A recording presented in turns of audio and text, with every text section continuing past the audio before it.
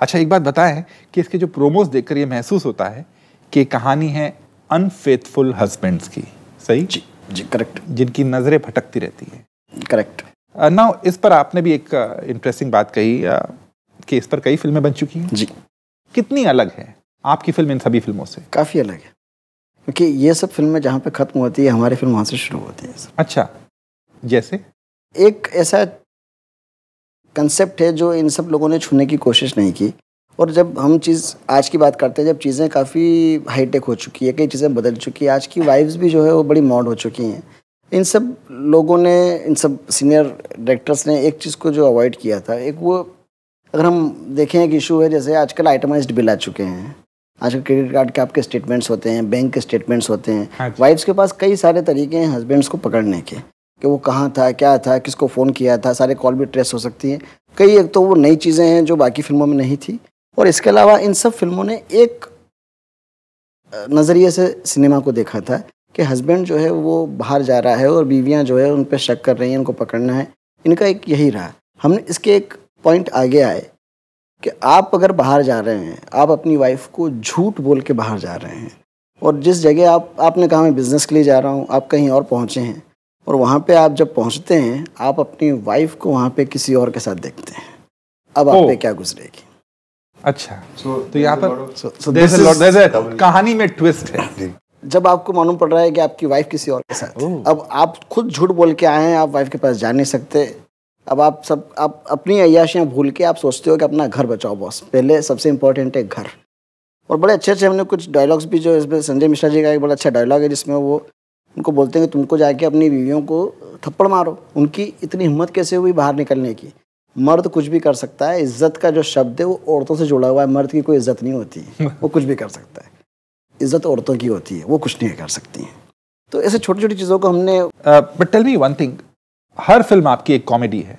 Comedy genre में आप uh, माहिर होते जा रहे हैं। uh, आपको नहीं लगता कहीं ना कहीं आप as a film maker typecast होते जा रहे हैं? दूसरी बात यू आर प्लेइंग सेफ़ क्योंकि आज की तारीख में क्योंकि कॉमेडी ये जॉनर पॉपुलर है सेफ़ है सेफ़ माना जाता है तो आपने कहा चलो हम भी बना लेते हैं.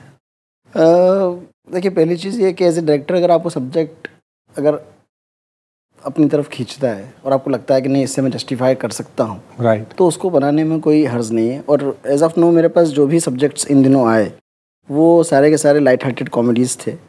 और मुझे करने में मज़ा आया। मेरे सेट पे जो एटमॉस्फेयर रहता है उसमें सारे जो एक्टर्स और टेक्नीशियन सारे लोग इन्जॉय करते हैं तो मुझे लगा कि ये जो एक चीज़ है जो हम सब लोग इन्जॉय कर रहे हैं जब तक you yourself is not bored what you are doing तब yes. तक आपको वो काम करते रहना चाहिए। सही। तो as long as I am enjoying doing this so it is not क्या मैं टाइप कास्ट हो रहा हूँ क्योंकि अगर मुझे पर्सनली करते हुए अगर मज़ा नहीं आएगा तो आई एम श्योर कि दर्शकों को देखने में मज़ा नहीं आएगा। बहुत सही। तो जब तक मैं इसको इन्जॉय कर रहा हूँ तब तक मैं इस पर्टिकुलर जोनर की फ़िल्में करता रहूँगा। आपकी टारगेट ऑडियंस क्या है? आप ये जो फ़िल्म है किसको पिच कर रहे हैं?